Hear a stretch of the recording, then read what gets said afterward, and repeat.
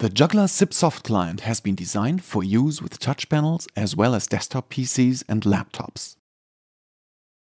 This is the user interface with a contact list on the right side and we are about to receive an incoming call.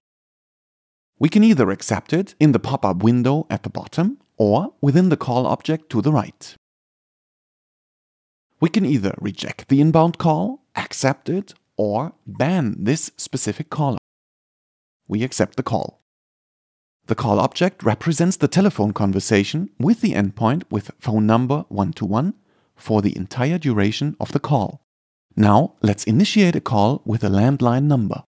The phone number that is right under the mouse pointer is selected by left clicking and then the call is initiated by dragging the selected number and dropping it onto the top edit box on the left side. Our previous call is put on hold that remote party will typically hear music played back by the telephony server as long as the call is on hold. We are already connected with our second remote party. A click at the on hold icon would also put this remote party on hold. Clicking at the icon in our first call unholds the call and we have initiated a conference. There exists another way to make conferences one or more calls need to be on hold in order to demonstrate this feature properly. In order to initiate a conference with all available participants, all that needs to be done is to click at the Conference button.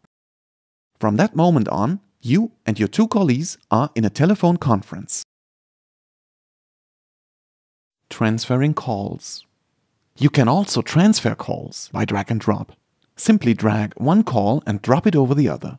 The telephone and the telephony server do the rest. As a matter of logic, both call objects are deleted as soon as the transfer was successful. It is also possible to transfer a call to somebody without asking that callee. This is called blind transfer. In this case, the long landline number is the drop target. As soon as the transfer has succeeded, the call object is deleted.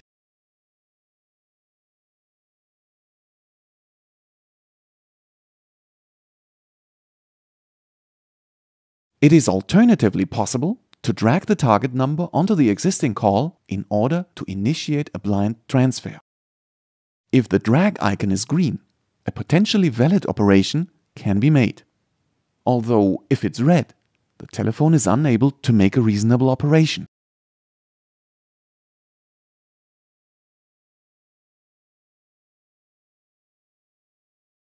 It also depends on the telephony server if an operation is successful, as shown in this example. In this case, the transfer could not be made. Cloud support, instant messaging, encryption, and great audio and video quality carrier-grade software telephony from Global IP Telecommunications.